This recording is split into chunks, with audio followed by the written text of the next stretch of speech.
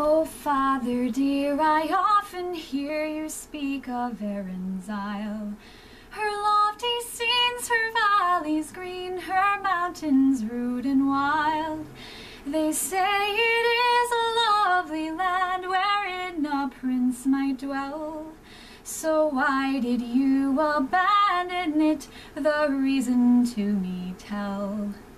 My son, I loved my native land with energy and pride, till a blight came over all my crops and my sheep and cattle died. The rent and taxes were to pay, and I could not them redeem, and that's the cruel reason I left old Skibbereen. 'Tis well I do remember that bleak November day, when the bailiff and the landlord came to drive us all away.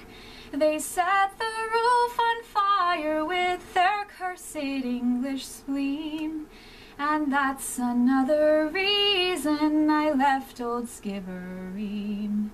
Your mother, to God rest her soul, lay on the snowy ground. She fainted in her anguishing, seeing the desolation round. She never rose, but passed away from life to immortal dreams. And that's another reason I left old Skibbereen. Oh, you were two years old, and feeble was your frame. I could not leave you with my friends, for you bore your father's name.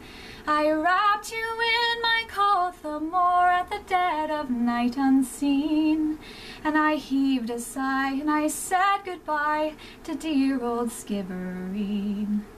Oh, Father dear, the day will come when on vengeance we will call, and Irishmen both stout and tall will rally unto the call. I'll be the man to lead the van beneath the flag of green, and loud and high we'll raise the cry, revenge for Skibbereen.